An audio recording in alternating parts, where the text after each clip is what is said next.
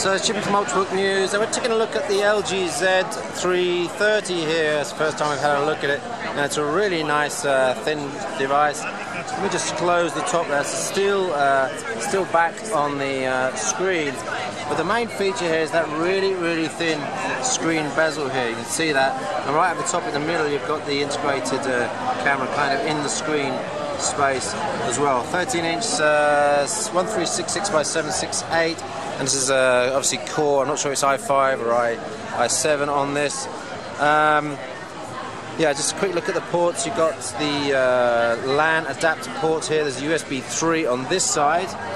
And on this side we have a headphone port, it might be a headset port, a USB 2 and full HDMI. There's a micro SD card slot here.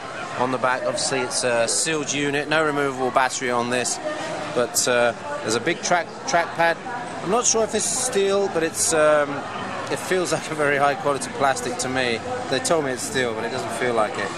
The uh, touchpad is integrated in there. It's fairly big. That's the size of it if you can't see it. And the mouse buttons are just sensors and not physical buttons as well. Unfortunately, terrible lighting here on the uh, Intel booth at uh, CES. But that is the LG Z330 that we're trying to get some uh, some review units in on that one for Ultrabook News. Thanks for watching.